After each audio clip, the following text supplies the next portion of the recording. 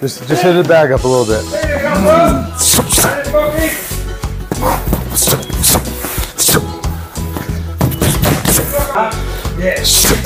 Ooh, buddy, you alright there?